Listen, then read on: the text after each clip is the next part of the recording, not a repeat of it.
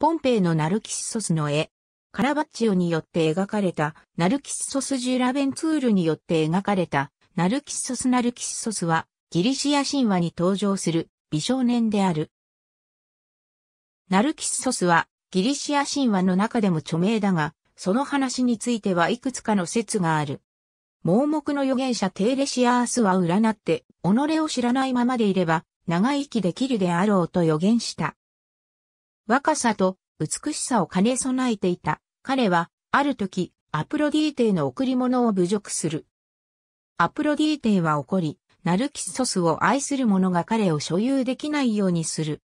彼は、女性からだけでなく、男性からも愛されており、彼に恋していた者の一人であるアメーニアスは、彼を手に入れられないことに絶望し、自殺する。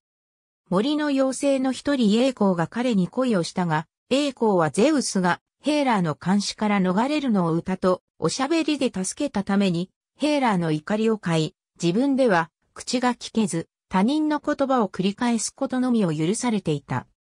栄光は、ナルキッソスの言葉を繰り返す以外、何もできなかったので、ナルキッソスは退屈だとして、栄光を見捨てた。栄光は、悲しみのあまり姿を失い、ただ声だけが残って、小玉になった。これを見た神に対する侮辱を罰する神ネメシスは、他人を愛せないナルキッソスが、ただ自分だけを愛するようにする。ネメシスは、無情なナルキッソスを、ムーサの山にある泉に呼び寄せる。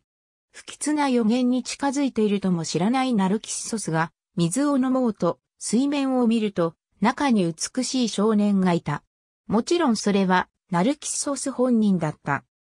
ナルキッソスは、一目で恋に落ちた。そしてそのまま水の中の美少年から離れることができなくなり、痩せ細って死んだ。また、水面に映った自分に口づけをしようとしてそのまま落ちて水死したという話もある。ナルキッソスが死んだ後そこには水仙の花が咲いていた。この伝承から水仙のことを欧米ではナルシスと呼ぶ。また、精神分析の用語ナルシシズムという言葉の語源になった。ありがとうございます。